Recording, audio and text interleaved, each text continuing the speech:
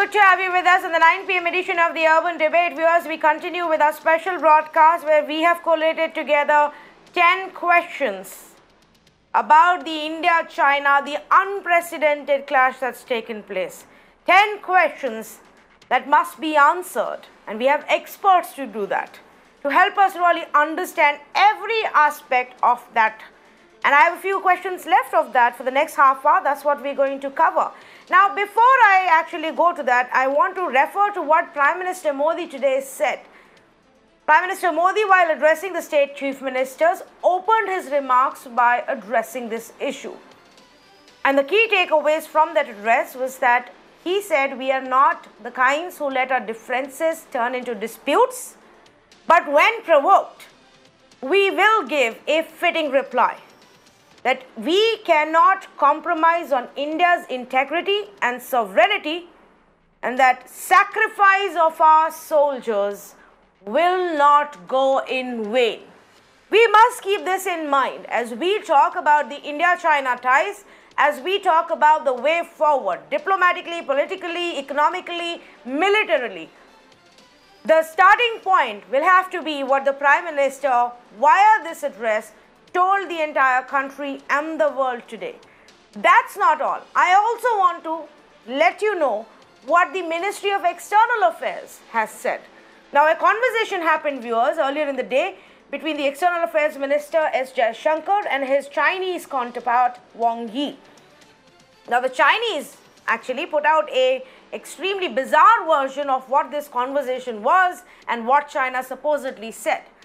But I want to tell you what the Indian government and the External Affairs Ministry has told us. And this is their press release. The very important points. Firstly, it goes on to show that the Chinese not only entered our territory, but after the agreement that the two sides came upon on, on 6th of June to disengage and for the Chinese to withdraw, they went on to erect a structure such is the audacity and the betrayal of the Chinese side that on Indian side of the line of actual control, they set up a structure. The structure was then demolished and the Indian side that was there to oversee the Chinese withdrawal of troops, the disengagement that had been promised and agreed upon, that Indian team of soldiers instead got attacked. Now, the other important aspect is that the MEA says this incident, this unprecedented incident, will have serious impact on our bilateral relations. And that is something that we are going to talk about tonight on the urban debate. What does that mean? What could be the impact? The Indian side has also made it very clear to China that this was a premeditated, planned action by the Chinese side, no way are we believing or letting the world get misled by China that this just happened or we did something. China planned this on our side of the LAC and they must now take corrective action. This is what India has said today via the External Affairs Ministry and what the Prime Minister also spoke.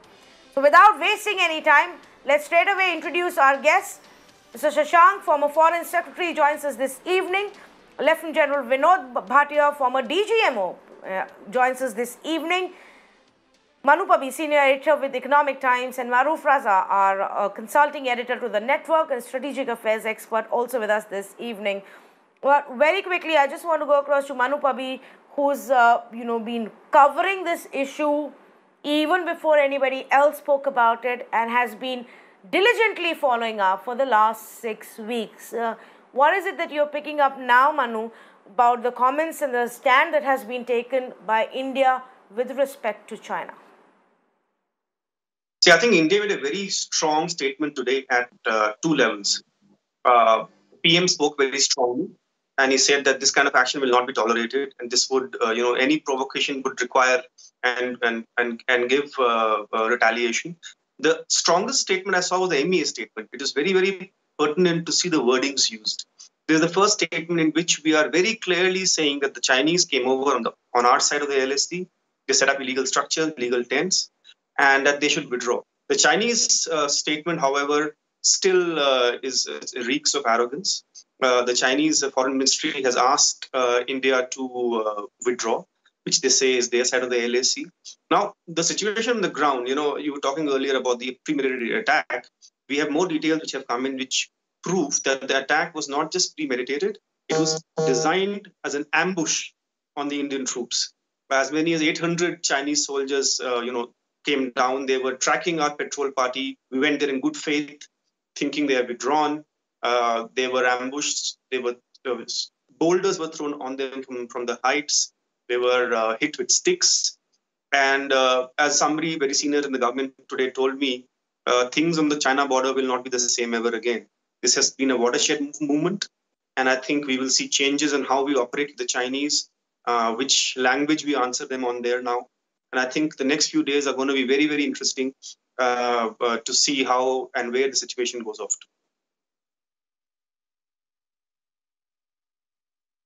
Okay, let me also get in a quick comment uh, uh, from Mr. Shashank on you know these statements because I completely agree with Manu Pubby. What uh, the uh, the press release put out by the uh, Ministry of External Affairs does have a very direct and strong message.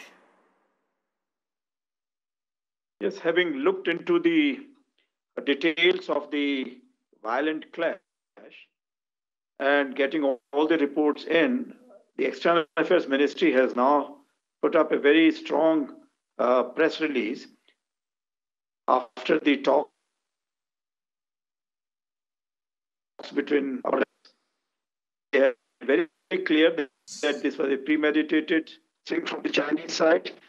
Uh, they seem to have come prepared for it. They violated the terms of the uh, agreement on the 5th of June, and that was being followed up over the next few days. And finally, they have said very clearly that this is on the Indian side of the LAC, that the Chinese were trying to establish these uh, structures, and so they were they, they must go back. I mean, it's a different matter that Chinese have a different version of this one that they are entitled to it. But the point is that once the agreement has been reached, they were not negotiating in good faith. It's very important that it is taken up again and again with the China.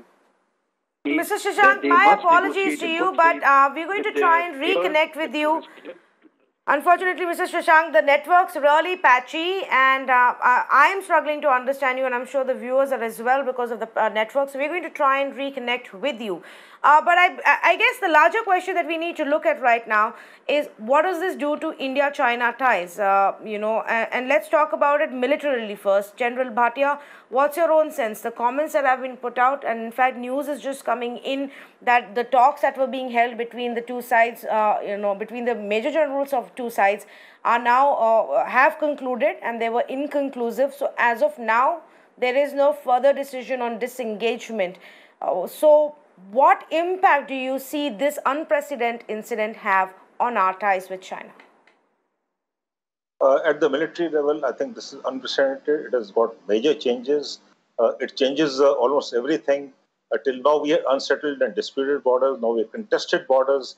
At the line of actual control, we see more and more transgressions, more and more face-offs, more and more standoffs, and more and more incidents which are uh, really not, uh, you know, which even China would not want and we, of course, are a peaceful nation. We do not want. The fact remains that the rules of engagement will change. Uh, the hitherto four uh, CBMs will change. Uh, the peace agreements which are there, the management agreements of 93, 96, 2013 uh, have been violated. China has been constantly violating our territories uh, by establishing quasi-permanent uh, positions out there, like in the Galwan Valley. It happened in Depsang 2013, it happened in Chumar 2014, it happened in Dolam, which is of course Bhutanese territory, but then uh, uh, uh, there is a sanctity to the Bhutanese territory also in 2017. So, the, but this was different. This was multiple places, more in scope, more in dimension, more in intensity, more in frequency. So this has changed, and this also led to this unfortunate incident, which is possibly, uh, I, I, thought it was a local one, uh, it was viral, but now uh, as indicators come in, as reports come in, uh, it is premeditated. So that is a, a, change. Uh, China normally uh, used to earlier uh, carry on transgressions and face-offs and then build up. In this particular case, this time, I am given to understand the build-up has happened uh, alongside simultaneously uh, with uh, the transgressions. So the Indian army would have to change its rules of engagement. It would have to ensure uh, ways and means to deter China's aggressive behavior along the line of actual control. It is not only the Indian army, uh, it will be India, it will be comprehensive national power, it will be diplomatic means, economic means. Uh, it will also have to have informational uh, means uh, all synergize together. So we'll have to change the way we look at China. it just cannot be military to military, it cannot be man to man, it cannot be army to army, it cannot be post to post. it is a complete nation to nation relationship. And that is what the MEA statement says. And that is what the Prime Minister said. The Prime Minister made very categorical statement today. And he has uh, addressed uh, uh, in four different domains. He's addressed the nation, telling them that we are standing firm, we are there and we'll, we will uh, do what we have to do to ensure territorial integrity. He has reassured the armed forces that we're standing with you. He has told the international community that we will safeguard our national interests. And last but most important, he has told China that we will ensure territorial integrity. And if you do not agree to that, there will be consequences to that. So these, these are very categorical statements coming from there. And the army uh, uh, is, of course, uh, going to build strengths out there. We need to prepared. Uh, you see, peace comes from preparedness. We have to understand that. We cannot neglect defense preparedness. That is the that is the bottom line. We have to ensure peace through preparedness, and that is something uh, we really need to take care of. At the military level, you will have to change uh, our drills, our uh, uh, rules of engagement. Uh, we'll have to change. You know, we were doing mirror deployment, like you said. We are mirror now, so we're doing mirror deployment. that is equitable and proportional deployment in the language.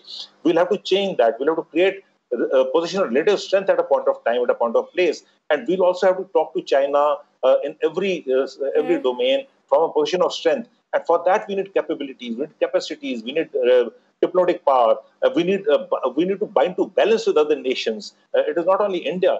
China has got problems in Taiwan. It's got problems in Hong Kong. It's got South China Sea, in East East Sea. So we have to ensure that we bind to balance with other nations, like-minded nations, to ensure that China does not uh, we deter China from uh, the aggressive behavior it has been doing in the last month and a half and earlier also. So, uh, uh in the end, I would say okay. we have to ensure that China deter, we deter China from aggressive behavior. That is the bottom line, and ensure our territorial integrity and our sovereignty. That's the bottom line. Okay, uh, I uh, I understand what you're saying, and of course, uh, you know this is an unprecedented incident and, and China seems to have betrayed us at so many levels and, and the way they have really carried this out. Uh, Maroof, what's your own view? If it if it uh, has a bigger impact on our ties and just like the MEA said it will have a serious impact on our bilaterals how do we go about handling it? Because we haven't really seen this kind of a face off with China in a while. We know what Pakistan usually is up to. We know how to deal with Pakistan but China is a very different ballgame altogether Tanvi, I have some questions and I have some answers. My first question is why did it take an incident like this for us to suddenly wake up and say this is an inflection point? The problem is that Mr. Shashank would know that well, but many in South Block have traditionally been wedded to the Nehruvian peace approach to China because the problem as it stands today is a legacy of Nehru's giants. Aksai Chin was occupied in his time. He was in a state of denial. When it came to confront us, then he goes and makes statements in parliament to say, A, you know, it's not such an important place because there's not a blade of grass that grows there. China was working then and it's working now to a strategic plan. I'll explain the strategic plan briefly. The second thing is that militarily, we have a competent and uh, well-trained army to defend our borders. We don't have territorial ambitions like China has. We have historically proved that we respect the status quo, but we expect others to respect the status quo. We went into Bangladesh, liberated the country, and came back. We went into Maldives, saved a coup, came back. We went into Sri Lanka, fought the LTT, came back. But China eats land systematically and then it pretends it has done no wrong. So we have to have a new policy towards China. this nonsense that has been going on for the last 22, 25 years of high level talks hasn't even reached a stage where China accepts your maps around Aksai Chin area, what they call the Western Theater. They only accept the central maps and the Eastern Theater. The Eastern Theater is fairly clearly demarcated with the McMahon line. They have a problem with that, but they don't have such a problem with it as they have in Aksai Chin because historically in Aksai Chin, there has been no clear boundary line even during the days when the Maharaja's rule was there in all the territories of the erstwhile JNK. There are three, four lines, they are contestable. What we call a claim line, General Bhatia will bear me out, it has not been demarcated on the ground. When the Nathula action took place was when General Sagat decided to demarcate the boundary in Nathula with a barbed wire fencing. The second point is militarily, what are your options? Your options are not just at the LAC. Please do not look at it in a compartmentalized manner. Your options are right across the Sino Indian border, as has been now generally declared publicly. There is a strategy, General Bhatia knows that well. It's called the revolving door strategy. You come in here, we get in somewhere else, and then you decide you want that as more important or this as more important, and you grab and keep what you can. There is also a naval option. China wants to have a free running uh, approach from the Gulf right to China with the ships going from there. Our Navy is still in a position to block Chinese vessels carrying essential energy supplies to China in the Straits of Malacca. Do we want to do that? We can do that. We have to start looking at multi-dimensional conflict or below conflict options. China must understand, you know, this nonsense that Mao Zedong got himself and his PLA to believe, which is part of the historical legacy, that Indians neither fight nor are willing to fight. Please understand, China has won only one war and it trumps around as a global power. We've won several wars.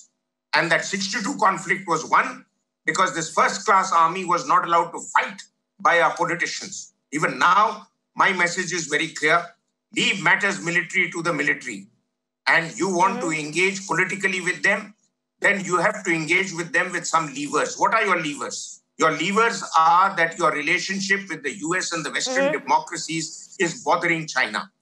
Enhance it. Enhance your arrangement with the Quad. Mr. Shashank, having been Foreign Secretary, can wisen us on that.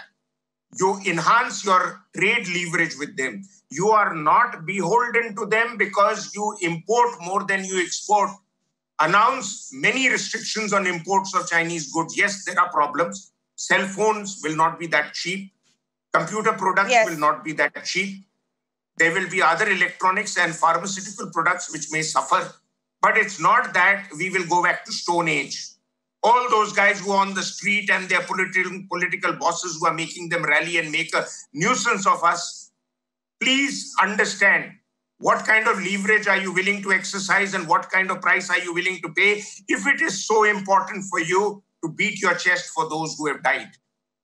Those who are in uniform have a job to do yeah i completely agree with, you when you say Maroof if it is fight, not trained to if it is so important to you don't ask them to do that don't ask them to defend the border when you are making them defenseless and finally and most importantly what is your long term strategic plan are you going to demarcate the boundary or you will keep having yeah. rounds of talks and phone calls and this tamasha takes place on the LAC or elsewhere every year? This is the kind of summertime uh, jamburi that the Chinese indulge in. Let us ask some hard questions and let us move forward from there. So all the while we are being fed the usual garbage that we have decided to peacefully de-escalate. Was this a peaceful de-escalation? we have decided that we will engage with China without you know such conflict uh, such situations becoming conflicts. Is this any less than a conflict? You can die with a bullet. You can die with a knife injury. You can die with a stone that is thrown on your head as we have learned. And the military commanders must be given a area within which they can exercise authority that's a military ter- terrain and I, I to that extent i must grant mr modi that that in the past I have seen, whether it was post Uri strike, whether it was in Balakot, yes. he gives a broad direction to the military. Well, this Mar- Maroof, in fact, I just want to make a point to what you just said.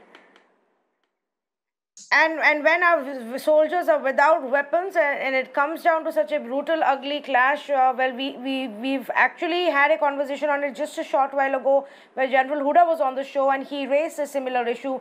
And we had a senior journalist who uh, did uh, you know um, indicate to us that this kind of a review of a protocol of what is being followed there uh, especially when it comes to not having a weapon, and that's been the protocol in these areas, is being reviewed uh, in the light of, of course, also what has happened, and there have been past instances as well.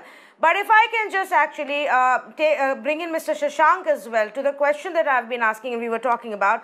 Mr. Shashank, is it tougher and really how different is it to deal with China than what it is with Pakistan? With Pakistan, we know. We know where to hit.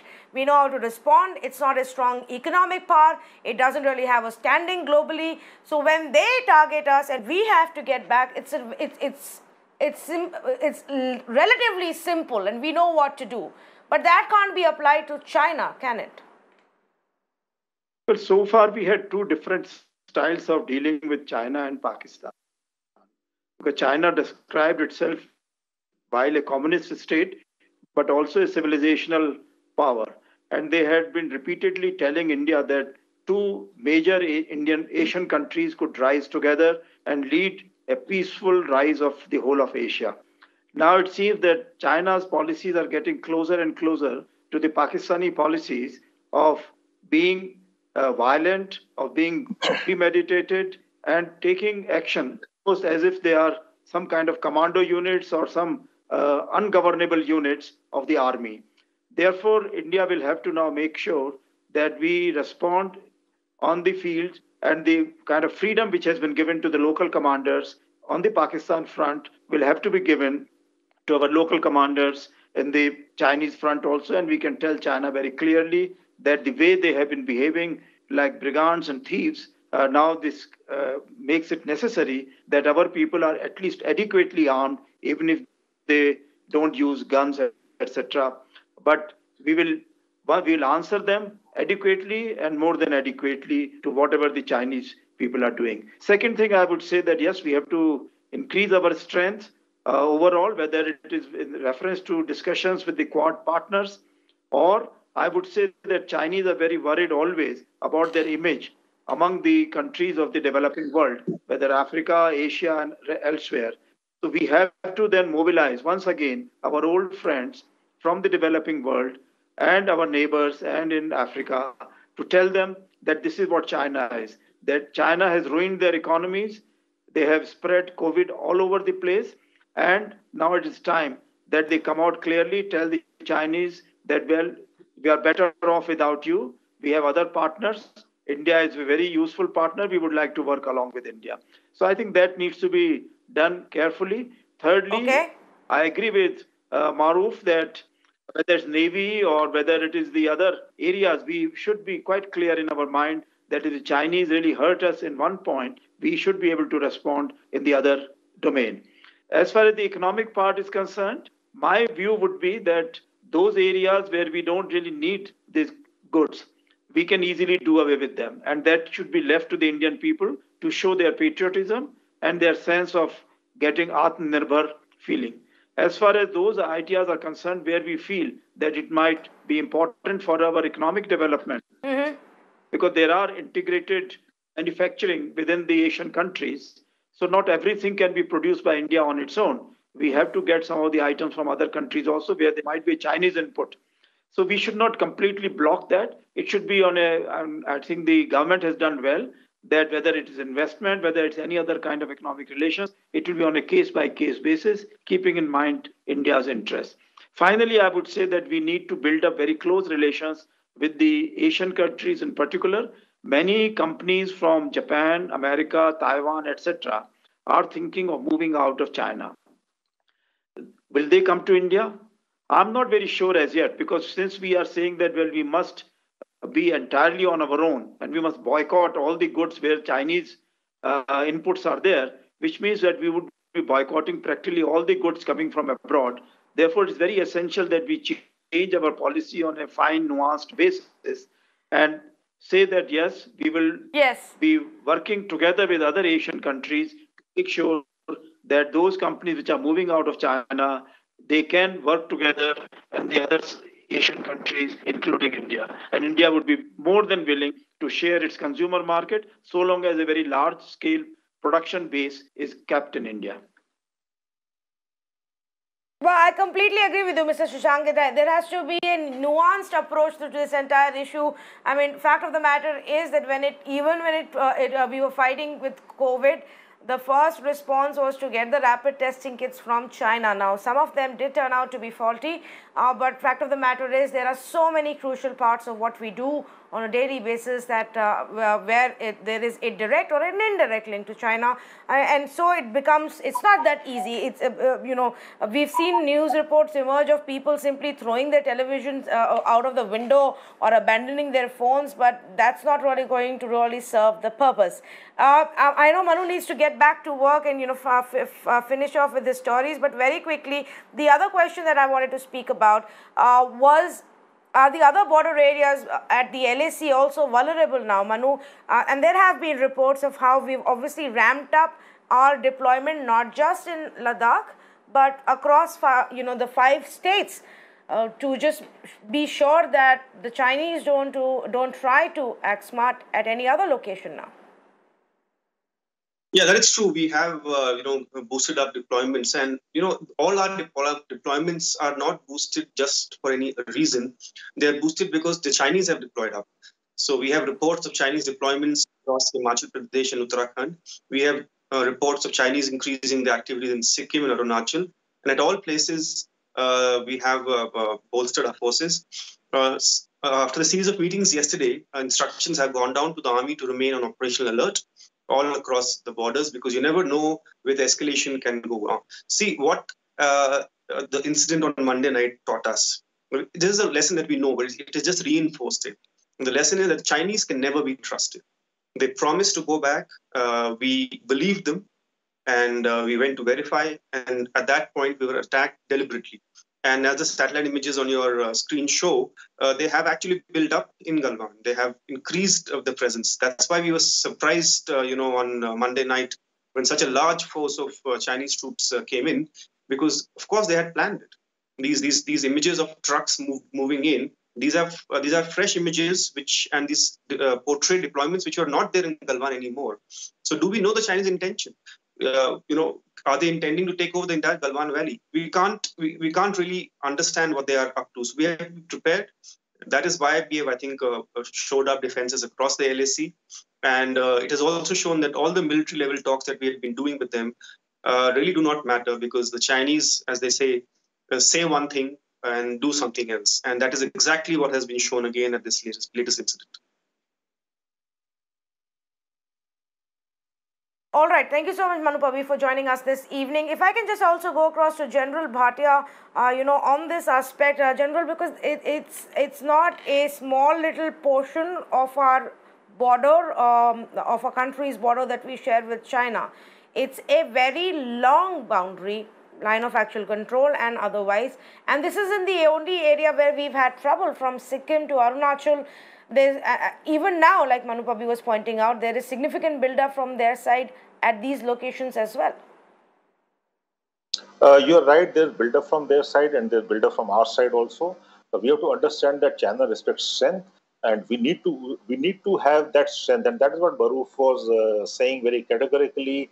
Uh, what he was, I, I, I think, what he alluding to was uh, Uh, that if we do not uh, invest uh, in defense preparedness, we have to look at peace from defense preparedness. Uh, we cannot say that we should, you know, uh, of course, we have to take diplomatic, economic, and other domains into view, but defense preparedness is a must. We have to increase the ISR, capability. like Manu Pubby said, they build up. We should have known that they built up. Why did we not know that they built up? We are where we were earlier. So I, I, I have to, you know, categorically state uh, it is okay that we will discuss this for the next one week, 10 days, 15 days. And once the situation back to normal, we are also back to our uh, you know business as usual and we forget about the whole thing. We have to think like the Chinese. Chinese think deep. They, they plan deep. Uh, they, they, they have long-term strategies. Uh, why should we not have long-term strategies? Why should we not plan deep? Why should we not get off all the contingencies uh, in all domains. Uh, why should military do what military is doing, diplomatic do what diplomatic is doing? We have to uh, synergize the comprehensive national power. All elements of national power have to come in together. Uh, we we have there are there are a lot of things we could not look inwards also. That's not trying to say. I'm not trying to be critical. Uh, our, our, our, people have done a great job at every level today, uh, whether diplomatic level, the prime minister's statement, the military level. fine. Uh, but uh, emotions don't get us anywhere. Uh, by throwing out few TVs out or throwing a mobile out doesn't mean anything. Where is the capability? Do we build mobiles? Do we build ICT? Do our gods are made in China? We have to understand all these things. And what what do we do? So we have to get all the systems together. We have to get the manufacturing units back into India. We have to produce the toys we want, the lights we want for Diwali. Why do we, why do we have to buy everything which is Chinese Chinese product? Uh, uh, not in the, this thing, but let me be serious hmm. about it. I, I, open a television, say uh, my any channel. Most of the channels are showing uh, ads of Chinese uh, products, uh, including in front of their laptops. So you know, we'll forget about all the things, but we have to look at the long term. We have to build our capabilities, build our strategies. we had the mountain strike project sanctioned in 2013. Uh, 17 July to be precise. Uh, uh, where are the monies that come from? 64,000 crore over eight years. 8,000 crore not much of our money, but it has not happened. Had it happened today, we would have the strength, more than the strength, and China wouldn't have been able to do what they are doing. So I'm, I'm giving you uh, not a negative viewpoint. What I'm trying to say is that let us have a strategy for the immediate term. Let's have a strategy for the midterm and let's have an action plan and let's see that it fructifies out there. Let the diploma- diplomacy economy uh, be factored into out there. Uh, let China understand that it faces a uh, India where it cannot, it is not getting away. Let me uh, let me be very sure about it. We are doing well, but we are doing well. Uh, uh, we have to do well in the long term. China should China should not even think of doing what it is doing. So what I keep saying is we have to deter China's aggressive behavior. How do we deter China's aggressive behavior is the challenge. You have to bind to balance with like-minded countries. You have to look at the economic front. You have to look at the military capabilities, capacities, not only in the continental defense, uh, in the uh, uh, in the Indian Ocean, uh, in the Malacca Straits, in the South China Sea. So there is a lot of things which need to be done, and I think we should. We, we know what is to be done. It's not that we don't know. The fact is that they're competing at the national level. The, the resources are, uh, you know, uh, there's always a dearth okay. of resources. So we'll, we'll, have to optimize all these things and make sure that we are ready the next time it happens. We are ready this time also. It's not that we're not ready. That's why this uh, uh, Chinese Chinese are in a fix now. They're not even giving out the casualties they have suffered. I'm sure they have suffered some casualties. There are reports of that, but they're not giving it out. Why they're not giving it out? Because they will have to justify to the to the people that we have suffered this casualty at the hands of India, and every time they suffer. But the fact remains that today's China's comprehensive national power is much more than India. So India will have to understand that when we deal with China, we'll have to deal from, uh, from position of relative strength. And that is what China understands, the language China understands. And we'll have to have our own pressure points, whether it is in place A, B, C, D across the borders, uh, uh the, the three, four, eight kilometer borders, or it is in the South, uh, in the Indian Ocean or otherwise. Okay. In fact, on that aspect, I want to bring in Maroof, and you know, we've had uh, several conversations in the past as well. Uh, not, of course, in this kind of a situation, but Maroof, um, as far as China is concerned, there are larger geopolitical factors at play. Uh, we also have to keep in mind that one would assume that the, the Chinese right now uh, would be cornered or isolated. The fact is that the whole world is ganged up against them in the light of coronavirus. They're already, you know, waging a trade war, or US is rather waging a trade war against China. And now they've opened up another front. But if we have to take them on, additionally, where else do we hit out? How else do we hurt the Chinese?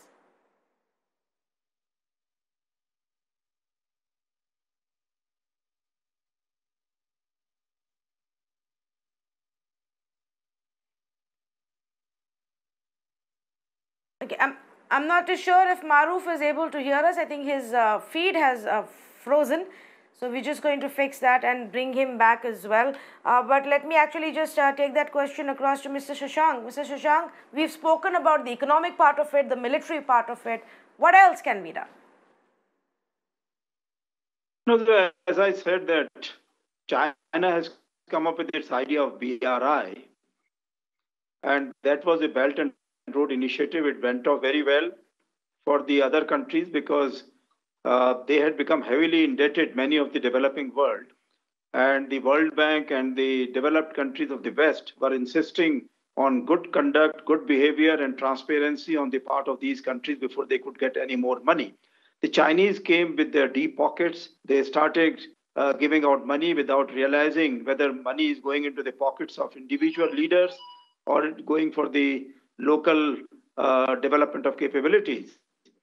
However, with the COVID crisis, these developing countries have realized that there are diminishing returns of the projects which they had taken up with the Chinese. Many of their land parcels are being uh, given uh, as debt for equity kind of under control of the Chinese for long terms.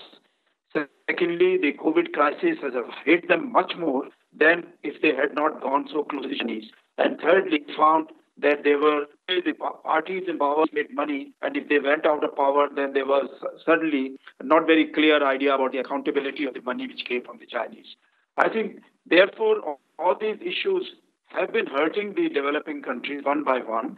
Some have come out openly on this, others have not done it. India needs to talk to them more energetically that it is not enough that they talk to us privately and say that look, they would prefer Indian investments, India's economic assistance, technical assistance instead of Chinese. Now they should do that more openly. And similarly, countries like Japan, Europe, and America, if they can have some surplus funds available, they should join hands with India so that technology funds and then the technical manpower from Indian side and the Indian prowess in the IT sector and cyber capabilities, we should be able to bring that together to the other countries of the world. And now in this COVID, post-COVID era, in any case, I think this is going to be extremely important, the internet connectivity, digital literacy, and use of cyberspace.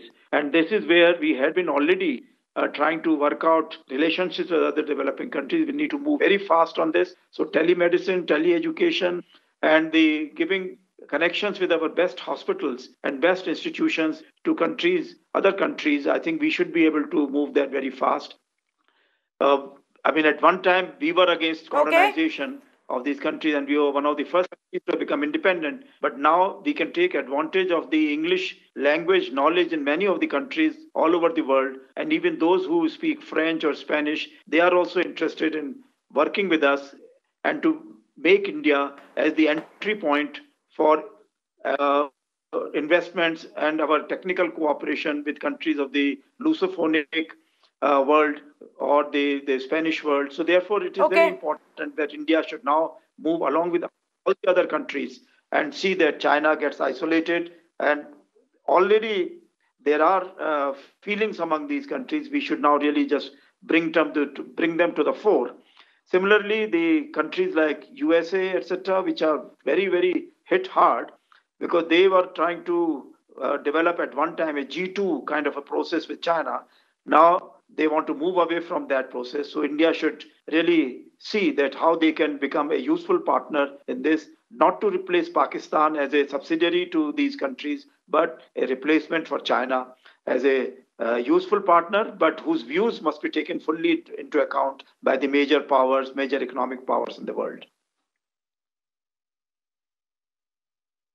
All right. Uh, well, uh, I am also running completely out of time, so I will. I do want to thank both of our panelists uh, for joining us. And unfortunately, with Maroof, there's a technical issue, so we're not able to get him back. But thank you so much, uh, General Bhatia and Mr. Shashank, so much for joining us and you know answering our questions, putting it in perspective for our viewers to really understand what has happened, how it built up, and what are the options militarily, diplomatically economically and politically for us to follow up here. Now, keep in mind, viewers, this information that has already come in that the military level talks that were being carried out, that were being held between the two sides yesterday and today, they have concluded. The talks were being held at a major general rank level, uh, and those talks have been inconclusive. This is the information that is coming in via sources right now, which means that there is no decision right now for immediate disengagement of troops between India and China, all the buildup that's happened in Ladakh. Of course, in Galwan, the, the disengagement happened after that clash in that one specific area, but not on a broader basis. Uh, and there is no update yet as of now on when the next round of talks are going to happen. So clearly, uh, you know, the strong message that we have sent, the strong stand and the clear stand, firm stand that we have taken at the political leadership level, the government level, uh, and even now at the military level is beginning to show. China will now have to reassess and see how they pull back. Otherwise, well, our, our country has taken a firm stand and then it remains to be seen where it goes from here on. Thank you for our panelists for joining us. I'm going to take a very short break. On the other side, we pay tribute to the 20 martyrs who lost their lives on Monday night. Stay with me.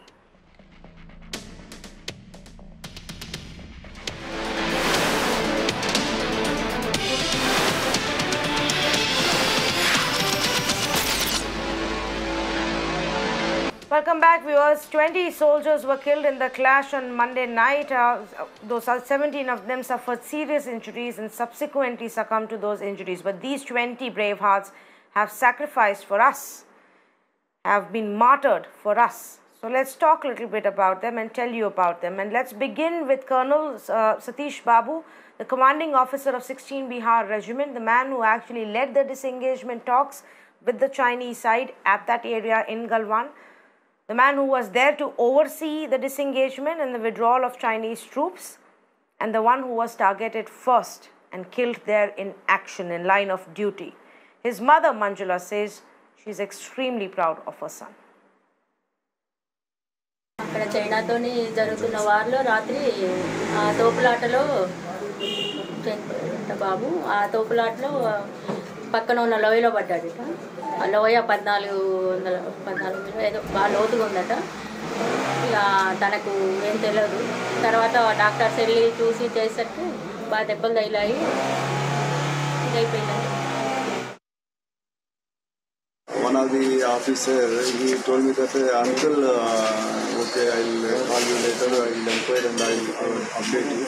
So what what was going on uh, i i too don't know that he told me.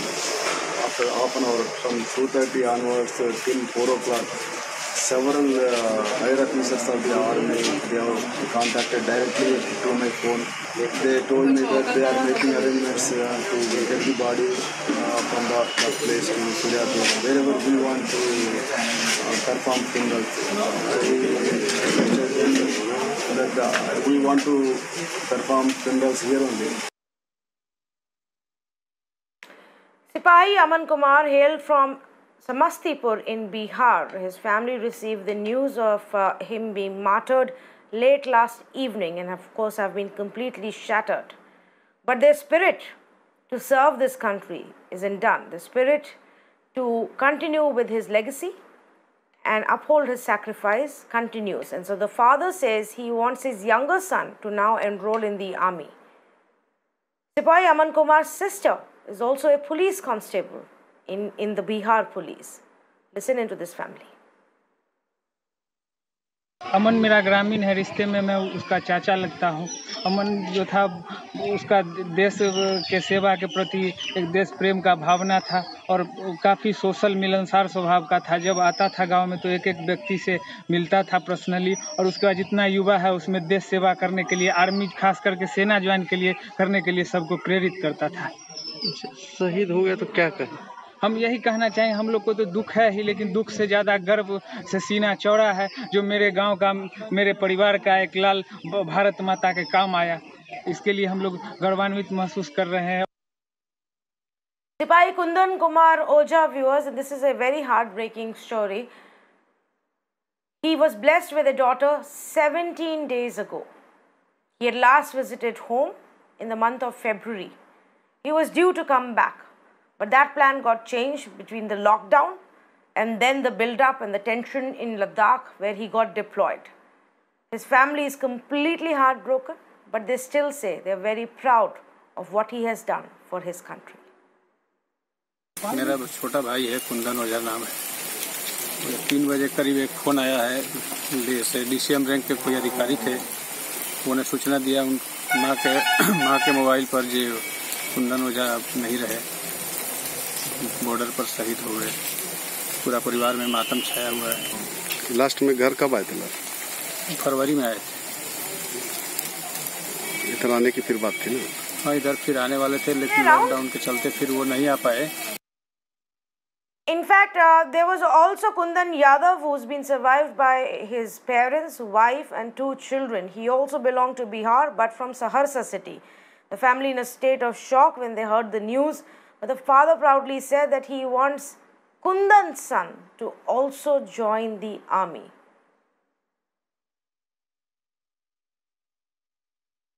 Well, let me get you the story of another martyr, and this is Ganesh Hansda. Ganesh Hansda actually hailed from a place which is about 100 kilometers away from Jamshedpur, the Baharagora tehsil. He was just 21 years old, viewers, and he was martyred in this clash with the Chinese side. He had joined the army two years ago. Not only was his family proud, but his entire district was extremely proud of what he had done. सपना जो अधूरा रह गया जिसको तुम पूरा करना चाहते हो उसका सपना बहुत बड़ा सपना था वो सोचता है जब तक हम जिएँगे अपने देश के लिए जिएँगे अपने माँ बाप का सर तो हम वहाँ तक लेके जाएँगे यहाँ तक कोई मतलब अपना भविष्य भी नहीं किया होगा। वहाँ तक अपना नाम रोशन करेंगे माँ बाप को। जिस प्रकार अपना माँ बाप का सिर को झुकने नहीं देंगे वैसे हम अपने देश के लिए पति भी अपना बलि चढ़ाने के लिए तैयार है। इससे पहले से ही बोलता था वो। अपनी संस्कृति और इसके लिए भी कभी कुछ बात हुई? वो उसका मेन था कि हम अपने मातृभाषा जो कि संताली है क्योंकि हम लोग बूढ़ा माँ बाप लोग, आजकल कोई भी आता है तो हिंदी में बोलता है तो बूढ़ा माँ बाप लोग को समझ में नहीं आता है। कहीं भी जाता है तो हिंदी में बोलता है तो उन लोग को समझ में नहीं आता, बहुत दिक्कत होता है। वो सोचता था, हम अपने मातृभाषा को डेवलप करेंगे और वहाँ तक लेके जाएँगे कि हमारा माँ बाप को भी एक सम्मान मिले, कहीं पर अपना भाषा से बोल सके। और अपना जो लिपि और चिकी है, उसमें तो सबसे माहिर था। और अपना लिपि को भी हम आगे तक लेके जाएँगे। आप लोग भाई कुछ नहीं मिला है भाई देखिए। तो पहले इधर देखिएगा हाँ। पह- पहले पढ़ता थे वो। पढ़ने का बाद में बोलता है बाबा अब तो पढ़ने का तो मेरा तो फेल हो गया अब क्या करेंगे? देखिए आप चेष्टा करेंगे आर्मी पुलिस में होगा तो जाएगा नहीं जाएगा तो उनका जाए जान तो जाएगा घर में रहने से भी जान जाएगा पुलिस भेजने से क्या होगा? अरे अब क्या ला जाएगा ठीक है तुम्हारा पसंद होता है तो क्या बनाएंगे Hailing from the Kanker district in Chhattisgarh was Sipai Ganesh Ram Kunjam. He joined the army in 2011 viewers. Ganesh was initially injured in this clash and later on he succumbed to his injuries. However, it was just a month ago that he had called up his family to inform them that he, he had been transferred, that he had been posted now to the India China border. Just a month ago is when he reached this place. Today, the entire village is mourning his loss. बोल रहा था का, कश्मीर से बोल रहा हूँ करके ना मैं ए, गणेश राम कुंजाम का साहब बोल रहा हूँ अ, आपका बच्चा जो है अ, चीन ये है बॉर्डर में। अ, चला गया करके ना। आप शहीद हो गया हाँ शहीद हो गया करके ना। और उनने बोल उन उनको मैं बोला कि कहाँ पे है ऐसे करके ना। तो चीन बॉर्डर आप टीवी चैनल देखिए। जहाँ पे जो युद्ध चल रहा है तो मैं तुरंत जाके टीवी को ओपन करके ओपन करके देखा। तो तीन आदमी का नाम बता रहे थे बाकी आदमी का नहीं था। अ, उसका पापा है उनका मम्मी है और एक बहन का शादी हो गया और दूसरा बहन जो है पुणे में है। अच्छा मतलब गणेश अकेला है घर में? हाँ गणेश अकेला है एकलौता लड़का है। ये कब ज्वाइन किया था आर्मी जब कौन पे अ, 2011 लगभग में। अच्छा और गणेश से कब बात हुई थी आपकी? मैं एक महीना पहले बात किया था उसके बाद अ, मैं कहीं दूसरा पोस्टिंग में जा रहा हूँ चाचा करके बोले मेरे उसके बाद और बात हुई उसके बाद एक महीना हो गया मैं रोज के लगा रहा हूँ पर नहीं लगा पा रहा Also, let me tell you about 21 year old Ankush uh, Thakur, who hailed from the state of Himachal Pradesh. He was from Hamirpur and he was part of the Punjab regiment that also saw a few casualties in this clash. Now, Ankush had actually only joined the army two years ago, but he comes from a family where his father and his grandfather were part of the forces as well. So that's the story of Ankush Thakur hailing from Himachal Pradesh. I also want to tell you about Havildar Palani, 40 year old soldier who succumbed, who, who was martyred in this clash. And if this build-up had not happened, he would have actually been home. He would have been home on June 3rd for his birthday, for his housewarming ceremony, but instead he had to be at the border protecting us and protecting our country. He last spoke to his wife on June 3rd, and that call was only four minutes long. This is his story. பதினெட்டு வயசுல இருந்து மிலிட்ரியில வேலை பார்க்குறாரு கடைசியா வீடு நிலம் தூக்கி வைக்கிறதுக்கு வந்திருந்தாரு இப்போ மூணாம் தேதி அவர் பிறந்த நாள் நீ தான் வீடு பாதுகாச்சுனே வர்றதுக்கு லீவு கிடைக்காதுப்பா பிரச்சனையா இருக்கு. வீட்டை முதல்ல பாலை காய்ச்சிடுமான்னு சொன்னார். அவர் மட்டும் தானே இருந்தாரு.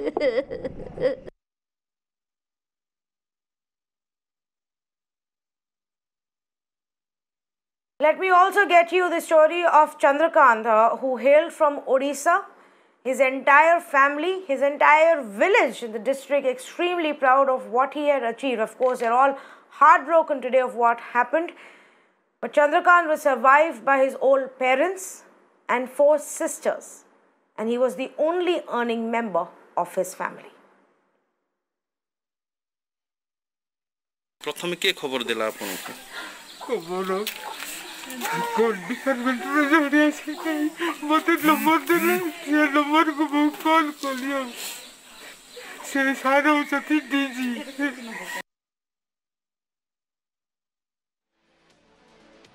Big thank you to all of these soldiers who sacrificed their lives for us. A big thank you to their families for supporting these soldiers.